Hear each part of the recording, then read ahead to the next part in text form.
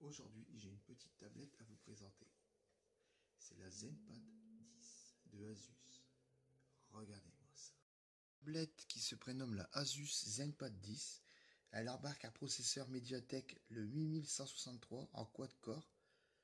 Il y a 4 cœurs, une fréquence de 1,3 GHz, une mémoire vive de 2048 MO, capacité 16 Go en SSD, un écran de 10,1 pouces avec une résolution de 1280 par 800, une caméra de 0,3 mégapixels, caméra arrière une 2 mégapixels, dimension la hauteur 25,16 cm, la largeur 17 cm et l'épaisseur 0,75 cm pour un poids de 490 grammes. Cette tablette a une autonomie de batterie de 8 heures.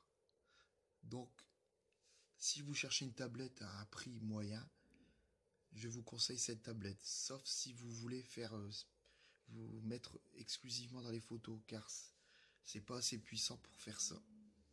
Si cette vidéo vous a plu, mettez-moi un gros pouce bleu et abonnez-vous. Faites passer le message à tout le monde. Likez, likez et surtout mettez-moi un commentaire dans la description. Ce que vous voulez, des questions. Si vous voulez des infos, je serai toujours là pour mes abonnés. Donc, sur ce,